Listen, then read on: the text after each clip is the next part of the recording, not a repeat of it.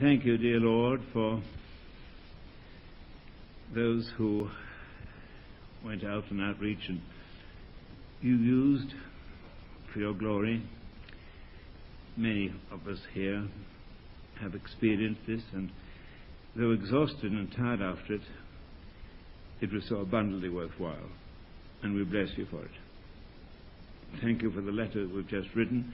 We just take it and bring it up to you with praise and honor and glory to your name. Thank you, Lord. It's not we, but Christ in us who gets all the praise and all the glory. Now, hear us. And Lord, you know that we're feeling tired, and for many of us it's been a busy day. And we just trust you now for the last um, hour of this evening that you will give us refreshing and the sheer joy of being together and loving you and being loved by you and being bound up together in a bundle of life in the Lord our God. So help us all now. In Jesus' name we pray. Amen. Now then, for the last time today, would you just look at um, chapter 18 of John, please? Now we have just to look at the outline a bit. Outline a moment. And uh, the last um, section we're in now, part C, the revelation of God as love to all. By the way, I missed, you know, of course, uh, those three chapters.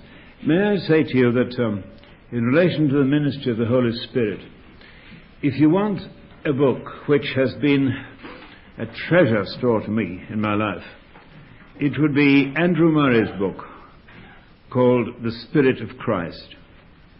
I think that's a must for Christian people.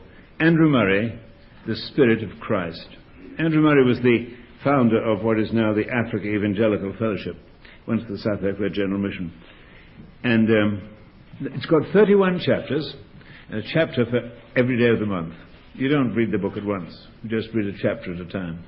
And it's got different aspects of the ministry of the Holy Spirit. It's simply tremendous. I do commend it to you. Andrew Murray, The Spirit of Christ. All right? Well, we had to miss out those chapters. This morning we dealt with chapter 17, the prayer of our Lord. Now, the revelation of God as love to all. We have uh, three lectures left, including this evening, and uh, we're going to look at uh, what I have called in the outline the trial, the tragedy, and the triumph of divine love. We are hoping to do the first two tonight. Then we'll look next week at the triumph of divine love, and uh, finally at the epilogue in chapter 21. Now, the trial of divine love. Chapter 18. To save time, I won't read it now, but you'll have your Bible open before it, before you, and we'll refer to it uh, as we go along. First of all, in this chapter, we have the betrayal of Jesus. In the first 11 verses, the betrayal of Jesus, verses 1 through 11. Some things are especially, I think, noteworthy. First of all, that this took place in Gethsemane, a place often frequented by the Lord and his disciples. It says that in the first two verses. There was a garden which he and disciples he and disciples entered. Now Judas, who betrayed him, also knew the place, for Jesus often met there with his disciples. When we started John's Gospel, I said that there was no Gethsemane in John. Well, there's only that reference to it. There's no reference to the prayer of agony that's recorded in the other three Gospels. I'll just give you one of them Matthew 26, verse 36. There's also reference in Mark and Luke, but if you get that one, that'll do. You remember the prayer I'm referring to when the Lord Jesus was praying, and again the disciples presumably listening in, and he prayed, Father, if it be possible, let this cup pass from me. Nevertheless, not my will, but thine be done. And his sweat was, as it were, great drops of blood falling on the ground. That prayer of agony, John doesn't refer to it.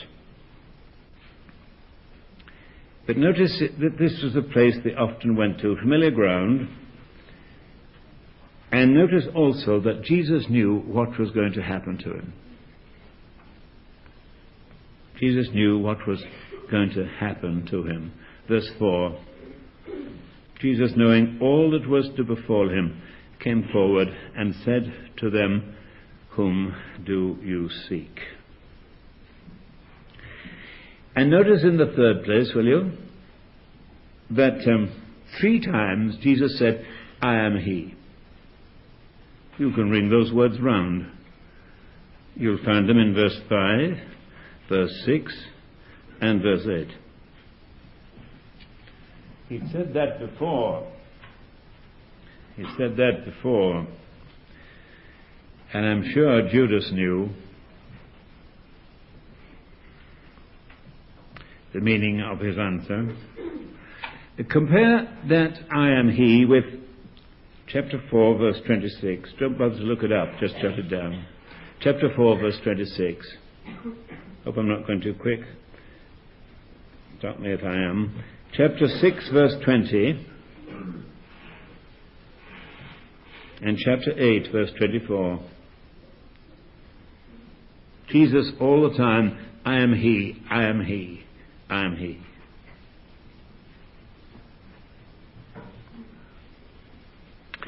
And then notice also in these verses that Peter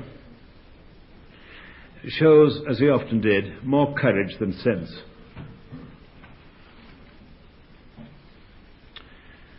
Verse 10 Simon Peter, having a sword, drew it and struck the high priest's slave and cut off his right ear. It was an awfully bad shot. He meant to behead him, I'm sure.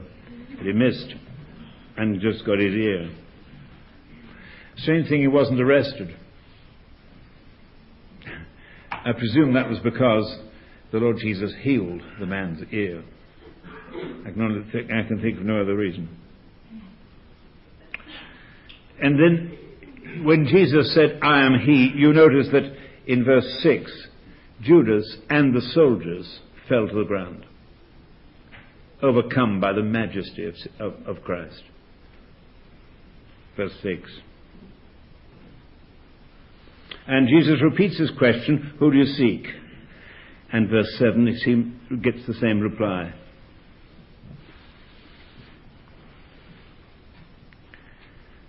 Whom do you seek? And they said, Jesus of Nazareth. I am he. So they may arrest him, but not the disciples. Verse 8 they effect their escape, and Scripture is fulfilled in verse 9. And then Jesus gives himself up. He gives himself up, surrenders himself. Just let me say it slowly, and if you have the energy, strength left in one finger, just jot down this sentence, would you? the one passion of our Lord's life was the will of God.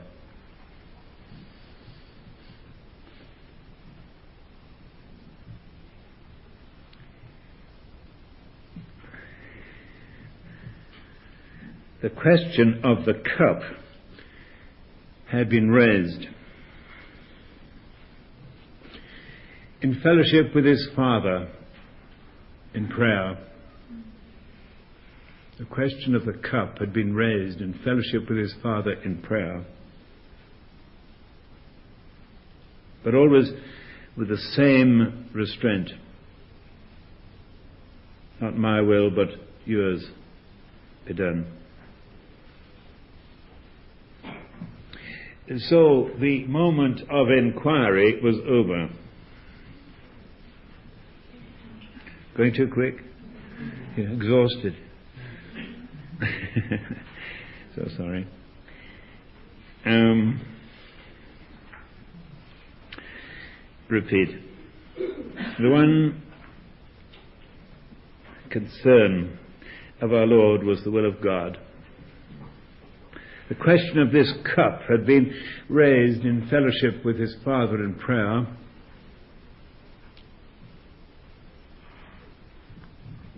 But under the same reservation, not my will but thine. So the hour of inquiry was over. The cup had been given him to drink. Therefore, no further questions. The cup had been given him to drink. Therefore, no further questions. That okay?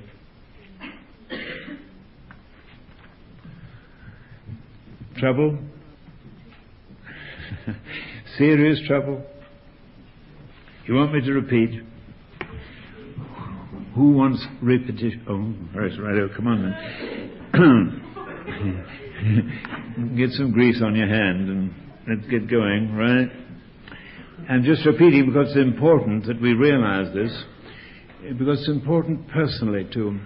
The one concern in our Lord's life was the will of God. The question of the cup had been raised by him in fellowship with his Father in prayer. If there's any other way whereby people might be saved, Father, let it be that way. But not my will, but thine. If possible, let this cup depart from me. You see it all in Matthew in the portion I gave you. The cup had been given him to drink. Therefore, there was no further question.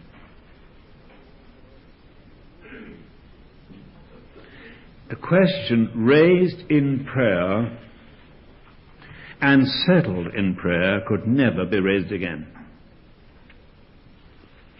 A question that was raised in prayer and settled in prayer could never be raised again in any other form or with anybody else.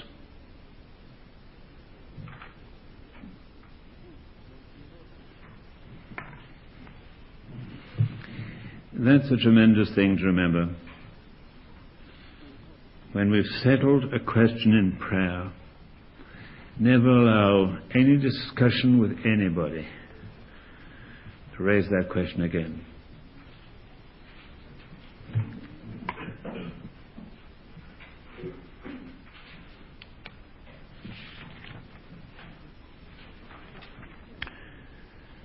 And now we have um, after the betrayal, the first thing then is the Jewish trial.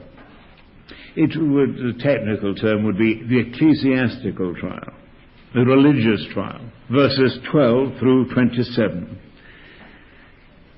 Jesus is, in quotes, tried by the Jews. First before Annas, verse 13, and then before Caiaphas, verse 24. And part of this is peculiar to John, only he mentions it. Let me just um, say this as interest. I don't think it's very important. But Annas happened to be the father-in-law of Caiaphas. And he had once been high priest himself. And he, then he was de- deposed and put out of office by Caiaphas' father, predecessor but he still sort of acted in the background, preserved some background authority. And so he is the first one to whom they take Jesus. And you notice of these 16 verses, verses 12 through 27, seven of them are not about the trial of Christ, but the trial of Peter. Seven of them deal with the trial of Peter, verses 15 through 18. and verses 25 to 27 are about Peter.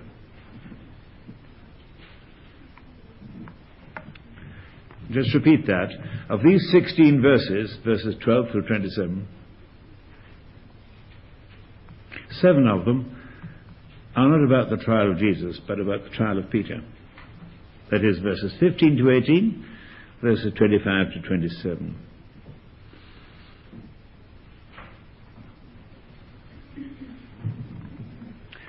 I haven't really time to go into those, but just let me say and put it down. Verse 17, verse 25, and verse 27. In each of those verses, Peter makes his denial of Christ. Verse 17 I am not. Are you also one of his disciples? I am not. Verse 25 I am not. Verse 27 Peter denied it again. And at once the cock crew. Those three verses, three denials of Christ in public, are the result of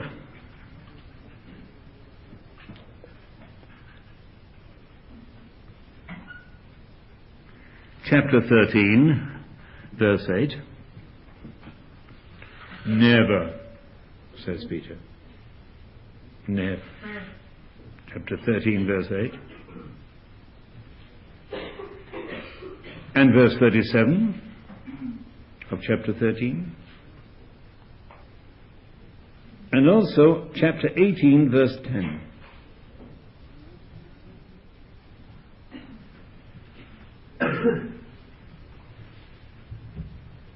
and also Mark 8, verse 31.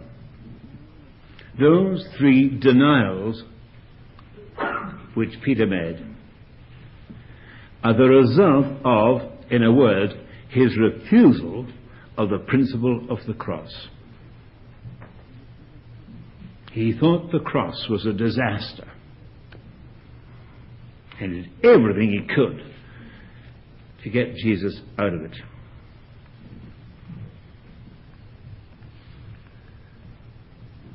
We have to beware of Satan's traps like that.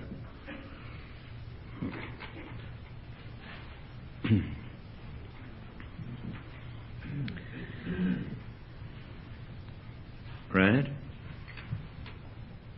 Now just look for a moment at this religious trial in verses 12 through 14 and 19 through 24. Jesus was led away by his captors, not because he was helpless, but because he was willing. He was led away by his captors, not because he was helpless, but because he was willing. It wasn't fetters that bound him, but love. It wasn't fetters, but love.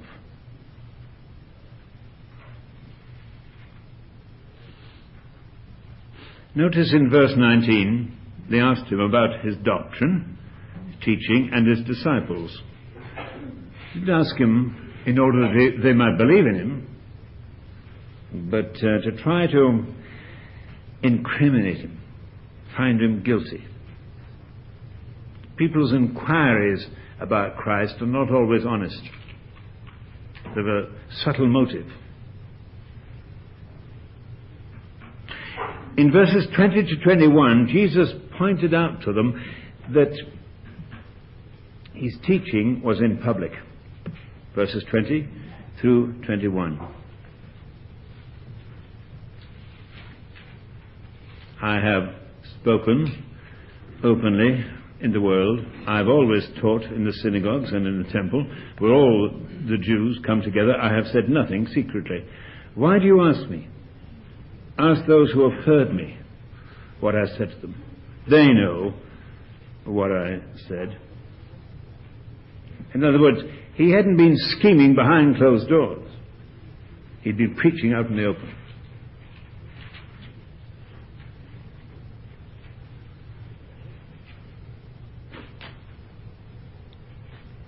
John records a trial before Annas and uh, at night, and then before Caiaphas in the morning, verse 28. Both illegal. Wrong times. Verse 28.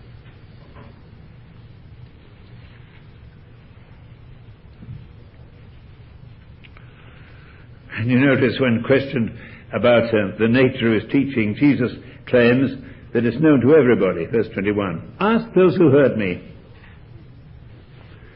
And Jesus is slapped for insolence. But nobody can reject his answer. Verse 22. Verse 23. If I have spoken wrongly, bear witness to the wrong. But if I have spoken right, why do you strike me? And then he is sent to Caiaphas. And then we have this, what I call the civil trial. First, the ecclesiastical trial, the religious one, before the Jews, verses 12 through 27. And from verses 28 to chapter 19, verse 16. Got that? This is the civil trial before Rome. Verse 28 to 19, verse 16. This is, you can almost picture this. It's very interesting uh, because the scene of it moves to and fro in relation to the uh, praetorium, the place of judgment, trial. And sometimes it's outside, sometimes inside. I'll just give you that. Now, you put down in your Bible, uh, in the margin or in your notes or something, put down this. Mark these movements. Got it? Outside, verses 28 to 32. I'm just quickly going to look at them all in a minute, but get them down first so we know where we are. Outside, verse 28 to 20, 32. Inside, verses 33 to 38.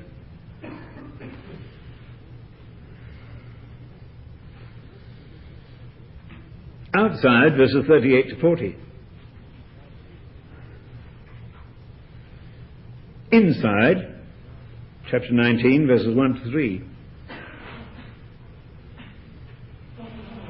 Outside, verses 4 to 7. Inside, verses 8 to 11. Outside, verses 12 to 19. Got it? I, I, I, can sort of picture it in my mind, out and in, out and in all the time. What a, what a, what a travesty the whole thing is. But here you are, I'll give it to you again, because it's very interesting to picture these movements as they go out and in. And Jesus is on trial.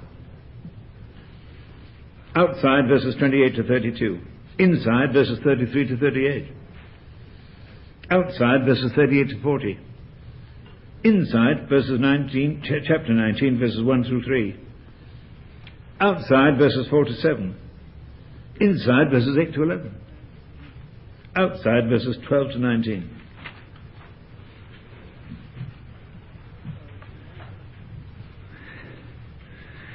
Now, just look, just look at each of them very quickly, and you'll have a sentence, just a sentence, about each to put down your notes. First one. Pilate asking the Jews, What's the charge? Verses 28 to 32.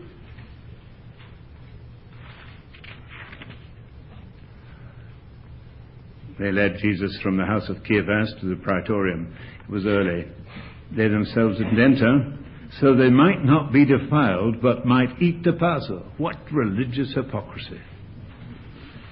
So Pilate went out to them, up to them, and said, What accusation do you bring against this man? It's absolutely clear that the Jew would have nothing less than a death sentence.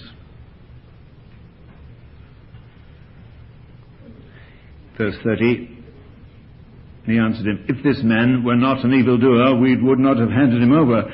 Pilate said to them, Take him yourselves and judge him by your own law. Jews said to him, It is not lawful for us to put any man to death.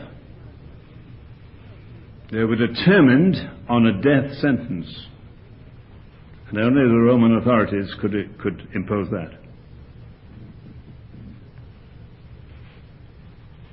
But remember two things. And put down, just right now, right there in your notes, see chapter 10, verses 17 through 18. I lay down my life. No man takes it from me. I lay it down and I take it again. This commandment I've received from my Father. Two things got to be seen there. Jesus was put to death by men, but he died voluntarily. He was put to death by men, but he died voluntarily. Verses 28 to 32, that is.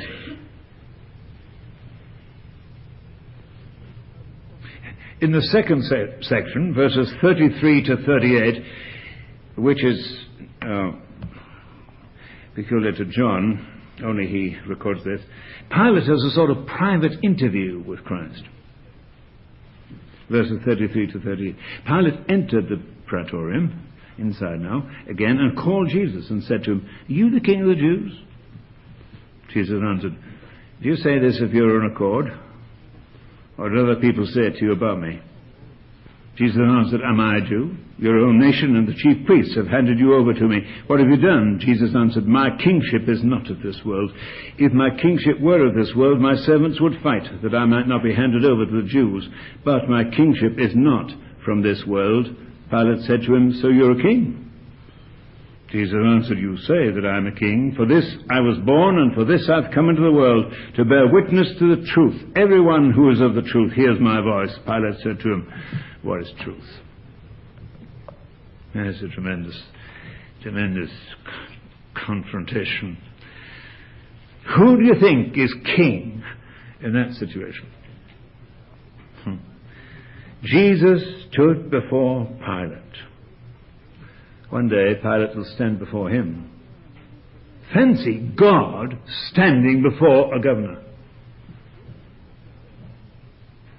Pilate asks his question, verse 33. And Jesus asks him, Is that uh, your own thinking? Or is it somebody else's idea? Verse 34.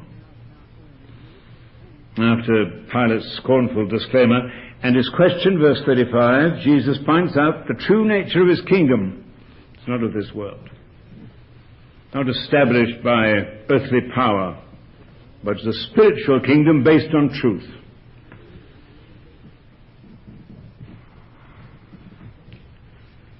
And Pilate dismisses his claim with a sarcastic comment What is truth? Truth's got to prevail, verse 37. And Christ, who's born, who was the truth, has borne witness to it. To this end, verse 37, For this I was born, and for this I've come into the world, to bear witness to the truth. Oh, that's, do I know, do you know, hmm, why you're born, what you're born for? Human life is a plan of God.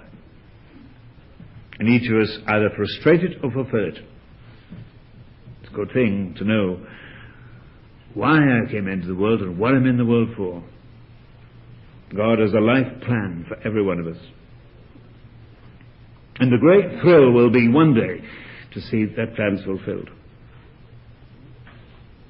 Now, the third section, verse 38 to 40, shows us what a mockery Pilate's justice is. Verse 38 to 40. Got it? Pilate said, What is truth? After he had said this, he went out to the Jews again and told them, I find no crime in him, but you have a custom. that I should release one man for you at the Passover. Will you have me release for you the king of the Jews? They cried out again, Not this man, but Barabbas. Now Barabbas was a robber.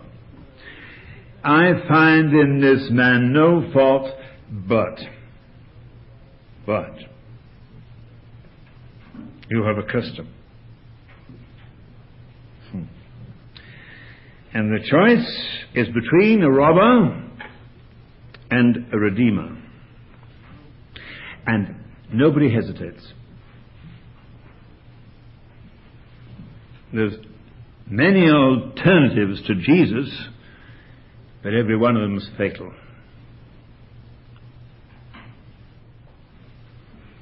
We can all have alternatives to the will of God, but every one is fatal. That's the third section.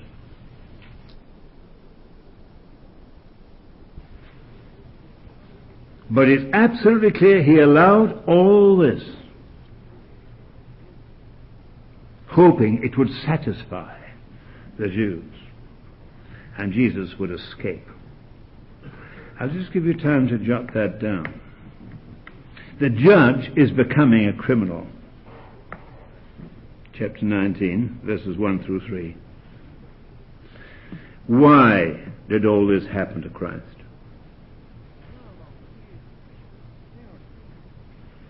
Part of capital punishment, but no judgment had been given about it.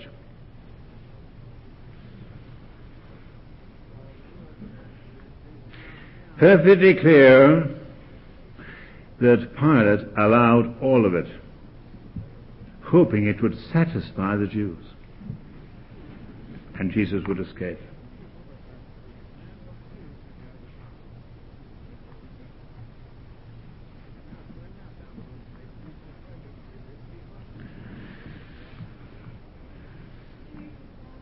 Sure. What do you mean that? The whole thing? right. the judge, fast becoming a criminal? Why was Jesus scourged? Why?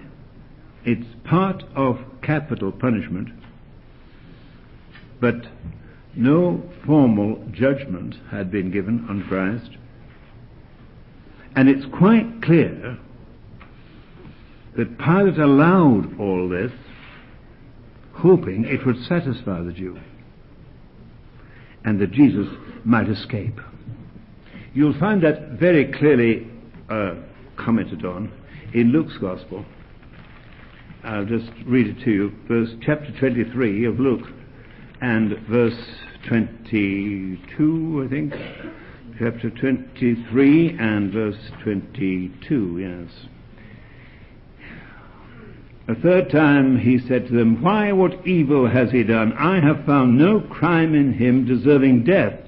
I will therefore chastise him and release him. That's Pilate speaking. That's what he wanted to do. He knew it was right. Now, notice the fifth, inside the praetorium, uh, rather outside, before the crowd. Verses 4 through 7 of John 19. Pilate went out again and said to them, Behold, I am bringing him out to you that you may know I find no crime in him. Underline that he said that three times. Underline that. 1, chapter 18, verse 38. I find no crime in him. 2, and bring him out to you that you may know that I find no crime in him. 3, verse 6 Take him yourselves and crucify him, for I find no crime in him. Three times over.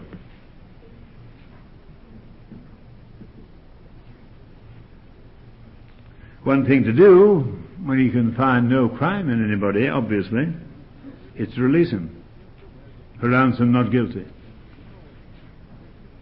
But you have a custom chapter 18, verse 39. The Jews say, We have a law, verse 7.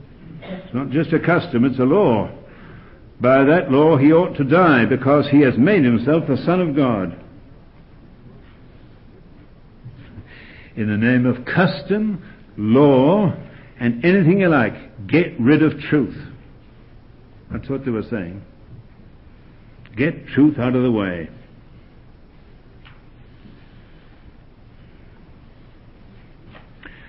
So, Peter, I mean, uh, Pilate and Jesus go inside again. Here's another private interview with him. Verses 8 to 11. In the first private interview, he talks about kingship. Chapter 18, verse 33 to 38. Kingship. Now he talks about power. Chatters about power. Power. Pilate doesn't seem to have much power, but he chatters about it in these verses, verses 8 through 11. Where are you from? Jesus gave no answer. You won't speak to me? Do you not know that I have power to release you and power to crucify you? Jesus answered them, You would have no power over me unless it had been given you from above. Therefore, he who delivered me to you has the greater sin.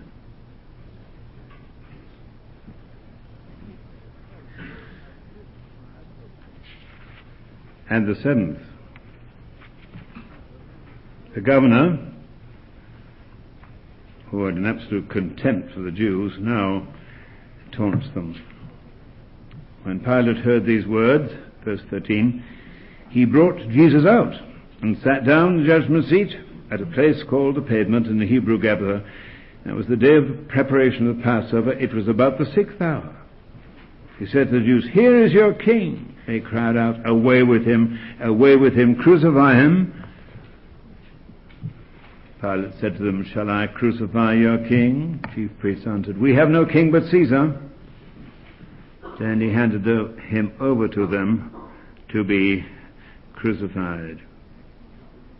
What a farce. What a farce. The trial. The trial of divine love. Now, just in a few moments, the tragedy of divine love. I don't know that's quite the right word because in the end it was victory, but tragedy I've used. And notice this the crucifixion, verses 17 through 30. Verse 18, there they crucified him, with him two others, one in the, in the other on either side, and Jesus in the midst. He's always in the midst. The title on the cross, the title on the cross, Jesus of Nazareth, the King of the Jews, written in Hebrew, Latin, and Greek, the languages of religion, art, and law. Verse 20. And Pilate sort of um, became tough, but too late. Firm, but too late. Verse 22. They said, uh, Do not write the King of the Jews, but uh, he said, I'm the King of the Jews. And Pilate answered, What I've written, I've written. It was the first time he was firm. Notice verse 22 here. Verse 22. John adds details regarding the dividing of Jesus' garments. Verse 23, sorry. And the soldiers had crucified Jesus. They took his garments and made four parts, one for each soldier, also his tunic. But the tunic was without seam, woven from top to bottom. So they said to one another, Let us not tear it, but cast lots for it to see whose it shall be. To fulfill the scripture, they parted my garments among them, and for my clothing they cast lots. That's not stated in any of the other Gospels, only in John. And the significance of it is an unrealized fulfillment of Psalm 22, verse 18. An unrealized fulfillment of Psalm 22, verse 18.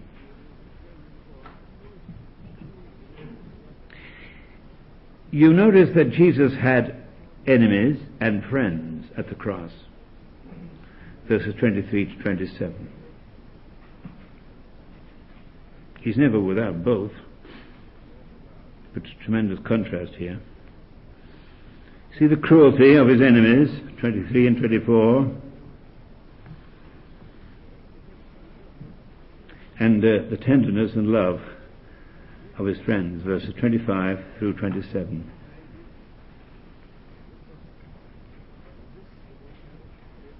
I think it's to the credit, eternal credit, of these four women. Incidentally, three of them called Mary. They stood by him in this hour, verse 25. But standing by the cross of Jesus were, and then you have four women.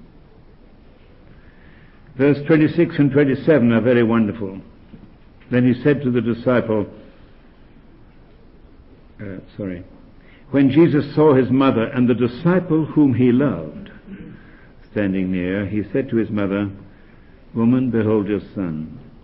Then he said to the disciple, Behold your mother. And from that hour the disciple took her to his own home.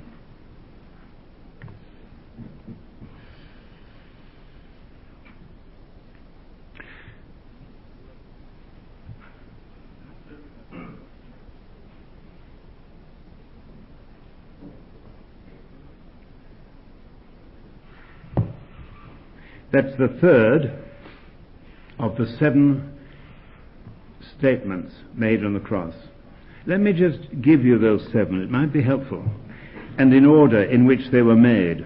The seven sayings on Calvary. Here they are. Father, forgive them, for they know not what they do. That's in Luke 28, verse 34.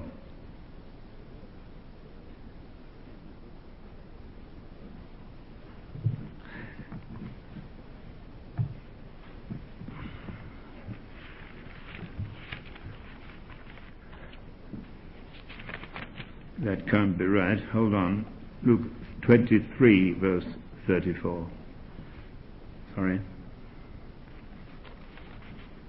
Yes, verse, chapter 23 in Luke, verse 34. Father, forgive them, for they know not what to do. And the second statement, today to the thief, today thou shalt be with me in paradise. Luke 23, verse 43.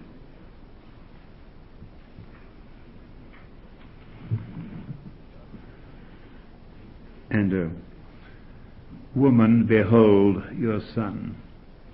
John 19, verse 26.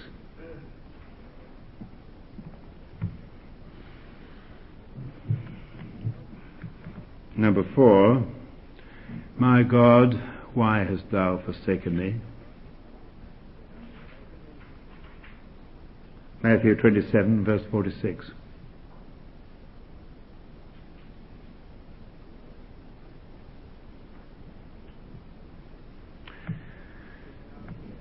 The fifth one, I thirst.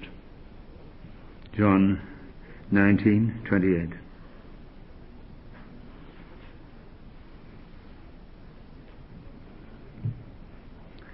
The sixth one, it is finished. John 19:30.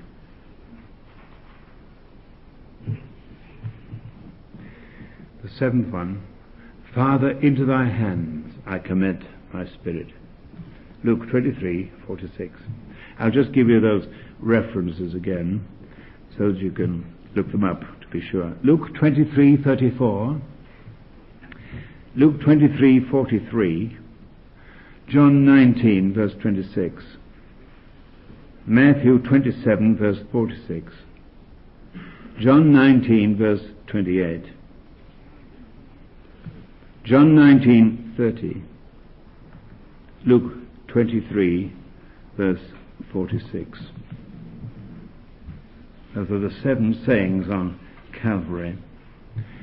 Interesting, too, to trace the sentence in verse 26 the disciple whom Jesus loved. Who was that? The author of this gospel. The disciple whom Jesus loved. And you'll find that statement five times. Five times in this gospel. That's what Jesus, what John called himself. The disciple whom Jesus loved. John 13, 23. John 20, verse 2. And John 21, verses 7 and 20. Gives you again. Five times the disciple whom Jesus loved. John 13, 23, John 20, verse 2. John 21, verse 20.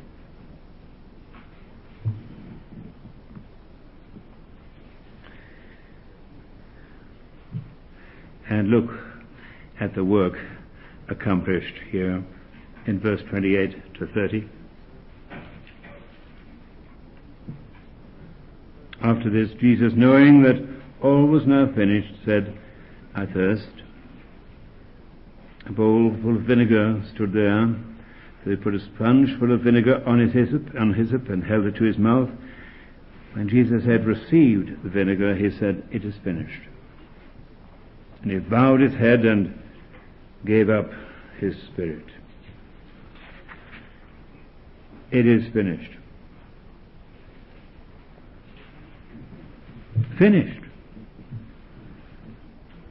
And I've just one minute, two minutes to say just one other thing. Uh, by the way, just read John 4:34 and John 17 verse 4. John 4:34, John 17:44. 17:4, sorry. Finished. And the last sentence is the burial of Christ, verses 31 to 42. And you notice in this section two requests, verses 31 to 42, two requests. First one, verses 31 to 37,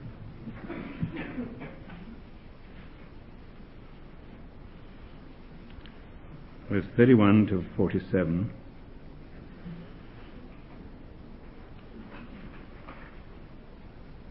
The Jews asked Pilate that their legs might be broken, they might be taken away. So the soldiers came and broke the legs of the first and of the other, the other thief, who had been crucified with him. But when they came to Jesus and saw that he was already dead, they did not break his legs.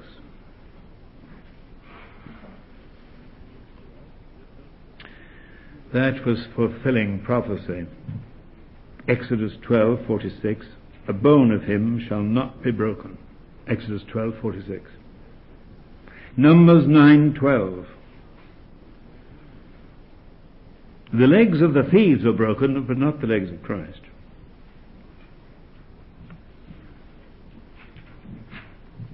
When we say, as we often do at communion service,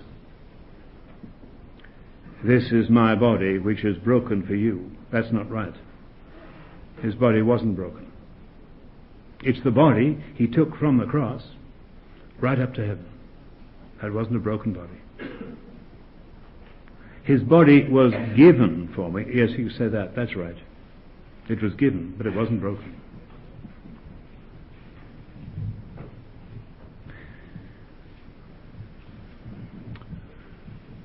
And uh, the last request, lovely thing, in verses 38 to 42, we've already been uh, thinking about the devotion of these women. Here now are two devoted men Joseph of Arimathea and Nicodemus, both his disciples.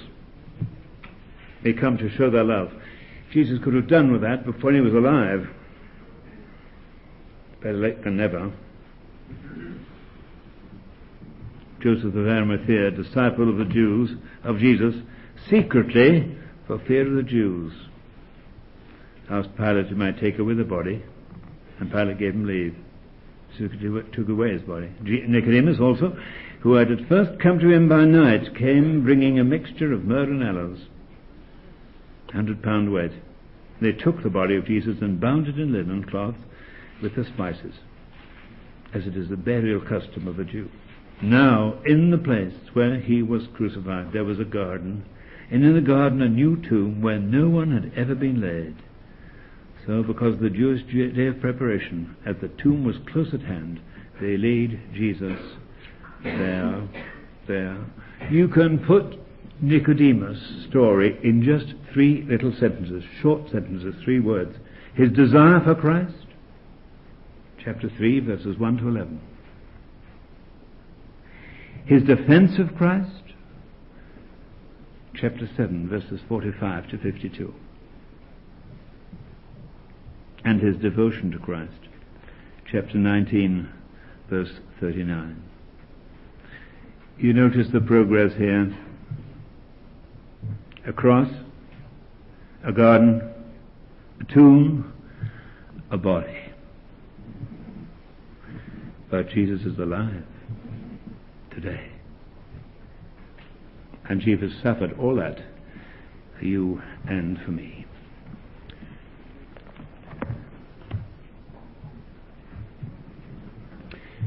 Right? Let's pray together. Lord, we tell you that we love you. We don't understand why you should love us, but we know you do.